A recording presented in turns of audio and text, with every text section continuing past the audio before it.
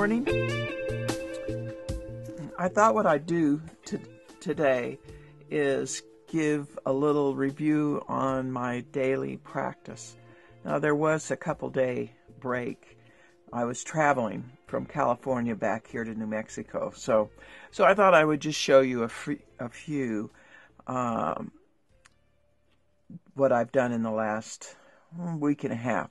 So this was done out in California, and this is a more precise rendering, but a lot of my drawings are like this, using colored pencil.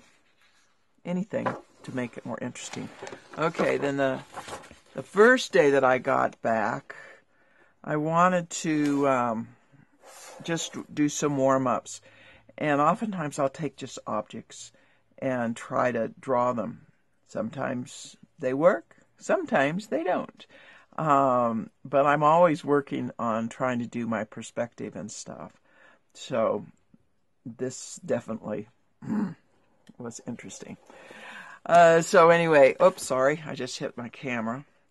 Uh, this, uh, I started this on the the 13th, and uh, so I did a video, I think on on this this one.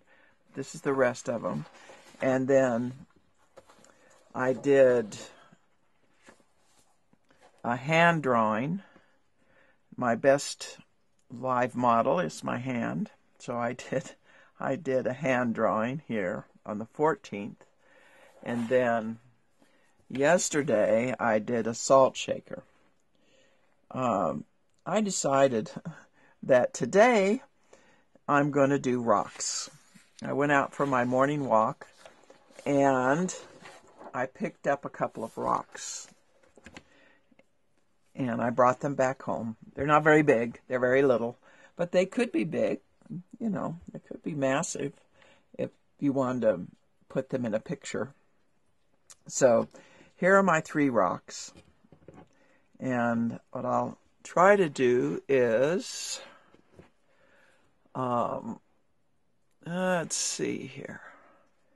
I'll get them. see if I can get them in the picture. We'll see. Anyway, these are my three rocks. And I kind of wanted to set them up and uh, as a little still life.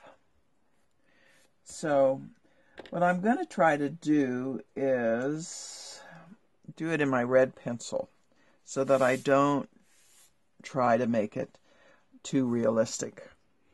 So what I'm going to do first is give it a, a general outline. So I'm giving a general outline here, as I said, um, and trying to actually trying to draw some negative space and look at the negative space to try to get that right at, uh, in addition to the the actual rocks themselves. Um, I don't know if I've explained this before. I haven't on this video. Is that every morning I try to do a what is called kind of a warm-up sketch, and sometimes it gets too involved and I get too um, precise about things. And this morning I decided that after yesterday doing that salt shaker that took me hours that and was not really very much fun that I would try to do one that would be uh, not so tedious and, and be fun because it's supposed to be a warm up. This is not supposed to be my only drawing of the day. So and it's as a practice. So every morning when I get up, I spend an hour sketching things. So here I'm I'm doing corrections with the with the blue pencil. I picked up my blue Ticonderoga uh, pencils, and these are erasable pencils. They're used by teachers for correcting papers, and they're not as expensive as um, uh, the colored pencils by Prismacolor. And uh, and then I here I'm uh, I'm I'm starting to lay out the shadows, and I like to do that fairly early in the drawing because it helps me kind of see the th- three dimensionality of it and where I would like to have things cross over. And and especially now I'm watching what I'm doing because this is a voiceover. I should have overlapped the those two rocks that I'm I'm I'm doing the shadows on. Um, but hindsight, anyway. So um, I need to go in and start doing some textures.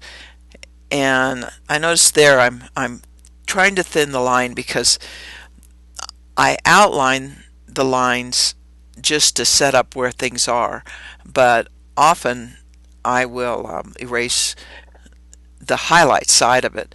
Um, I don't mind a hard line on the uh, cast shadow side because um, it just it doesn't bother me. But on the highlight side or facing the, the sun, which is on the left side, I, I want those, I don't want it to be lined. So uh, now I'm starting to put the textures in and um, experimenting with uh, different textures for the three different rocks. This particular rock that I'm working on, the whole surface is real pebbly. It is not a flat rock. Uh, it's just minute little bumps all over it, and so I'm just kind of jumping around and and uh, trying to give a texture that I think might work on it. And when I want it to be more shadowed, I just go over it another time with the same little jumping around, and it'll it'll darken it. Um, now, my project that I'm going to do tomorrow is um, I'm going to do some some plein air watercolor down by the river.